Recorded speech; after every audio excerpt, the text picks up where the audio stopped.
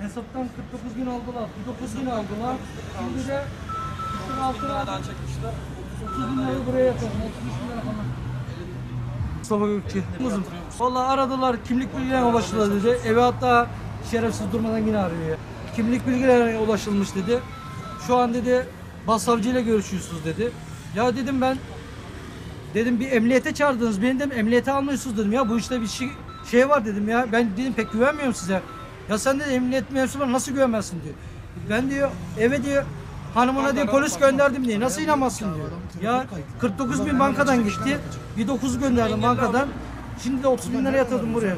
Hepsi de kredi. Gitti hesapta paralı. Anne ödeyeceğim diye uğraşardım onlar.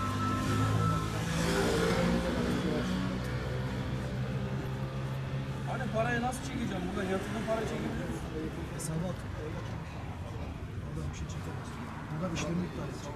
Şunu bir Bir buçuk, bir bir buçuk. Anne bir yüklerini kapatsın. Araman lazım.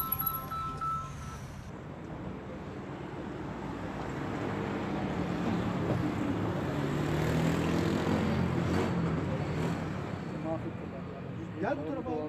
Tamam gel bankaya ara hemen abi. İptal edebilirsin. Aç şimdi. Tamam onu sen meşgul al. Bütün kartları blok ettik biz. Aç al bunu abi. Banka meşgul al.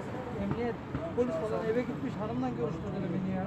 Yanlış, yalan. Allah Mustafa Gökçe 100 lira yakın param gitti ya. Mustafa Gökçe Evet. misin? 100 lira yakın param gitti. Aç, et abi.